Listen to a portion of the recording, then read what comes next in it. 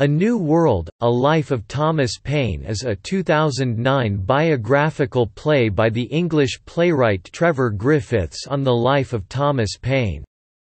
Other characters in it include Benjamin Franklin who appears both as the historical figure and as a narrator, George Washington, Edmund Burke, John Adams and Georges Danton.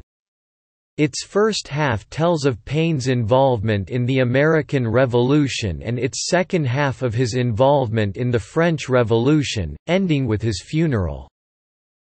The play began life as a two-part screenplay for Richard Attenborough one, though never filmed, it was published in 2005 as These Are the Times, A Life of Thomas Paine.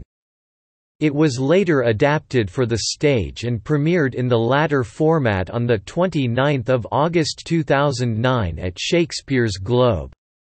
It ran there until 9 October 2009, directed by Dominic Dromgoole and starring John Light in the title role. It continues a run of new plays at the Globe on the broad theme of revolution, following Eric Schlosser's We the People and Jack Shepherd's Holding Fire, in 2007, and Glyn Maxwell's Liberty in 2008.